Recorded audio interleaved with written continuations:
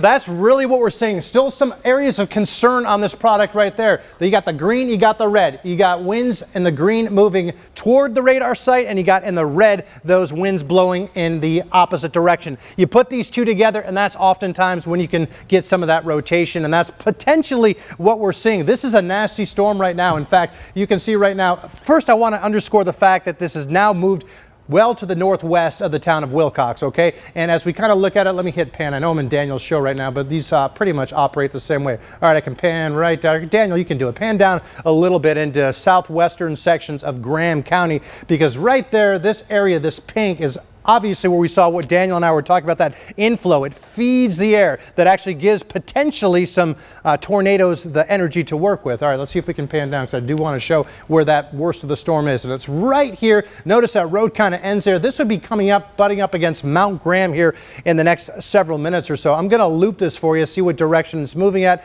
And you can see it's a nasty storm. We got tons of lightning. We got heavy rain. This is severe. Even if there is no tornado, we're still likely seeing extreme extremely damaging winds, but it looks like hopefully in the next five to 10 minutes, and I also want to point this out. See that cluster of lightning we have right there? It looks like it's starting to not be as energized. We see fewer lightning strikes. This is certainly a severe thunderstorm right now. Let's go back to that velocity one more time because I do want to see if we have any of what we call couplets. A couplet, again, is where that green meets the red. That tells us that we can see some rotation. We're still seeing some uh, potentially trouble areas, but notice it looks like it's really to the northwest of the town of Willcox. This is I-10, of course, right here. So if there were a tornado, would likely be uh, moving off to the northwest at a pretty quick clip.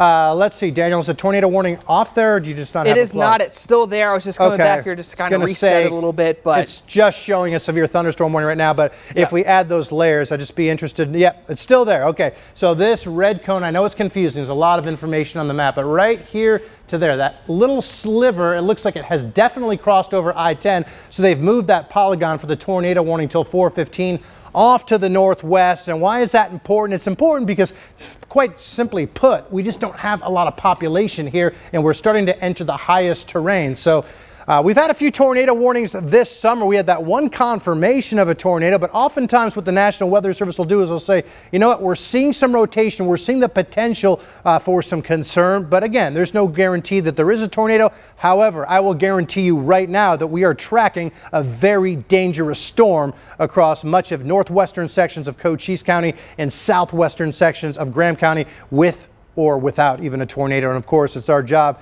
uh, keep you safe and on top of this. I know Daniel's back there looking at the National Weather Service. Uh, Daniel, do you see any other uh, talk about what they're? Yeah, yeah. Okay, something go, interesting go here is that severe thunderstorm warning that we're talking about lasting until 4:45. They're saying a tornado is, is possible with that one. That's not really a surprise because obviously we've had that tornado warning issued already. But something else significant with that severe thunderstorm warning moving into southern Graham County is that we're looking at potential golf ball size hail. They're saying along with 70 mile per hour winds. So even though we're talking about tornado here, Matt, a huge thing we like to look at with these storms is the straight line winds that tend to cause more damage than even tornadoes. Yeah, Daniel, can you put uh, the hail tracker on there one more time? Yeah, uh, yeah. Uh, he's going to do that for you because obviously if we pull out that hail, this is what Daniel and I were talking about right before he came on to his final weather hit, and we were talking about that potential. We saw what looked to me like a pretty substantial, I'll let you do it, Daniel. It looked like a pretty substantial hail core. I got to move off screen for him to do that. My apologies. So, I mean, look at that. We got some of those purple areas. Sometimes this overestimates it, but guys,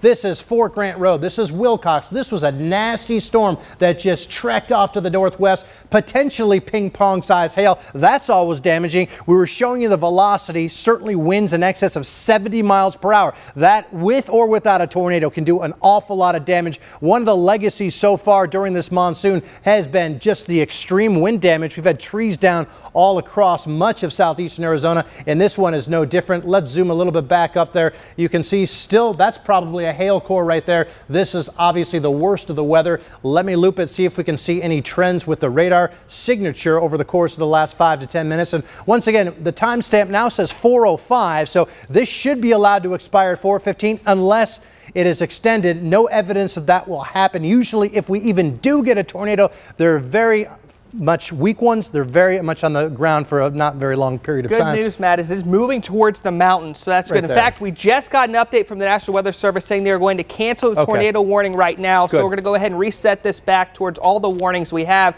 If you want to go ahead and kind of yeah. set the scene here for that severe thunderstorm warning, flash flood Thank warning, I'll let you take it away from here. Thank you, Daniel. Nice job out there. And just to sort of recap, if you're just tuning into the top of the 4 o'clock broadcast, maybe we're coming on a little bit uh, late. We had a tornado warning. The National Weather Service has allowed to expire that, so the tornado threat looks like it's gone for now. We don't want to lose sight of the fact we got a nasty, severe thunderstorm warning for extreme southwestern portions of Graham County. Not a lot of population here. We have a flash flood warning till 6:30. We're talking about a lot of rain and one more severe thunderstorm warning for north central sections of Cochise County until 4:15. A lot of lightning. I think wind's still going to be a big factor, possibly in excess of 70 miles per hour. However, it does look the trends are keeping this really much in the mountaintops and to very rural slash remote areas of southern Arizona. All right, we're going to keep our eyes on this, but now it's back to the newscast. Here's Monica Garcia. All right, Matt.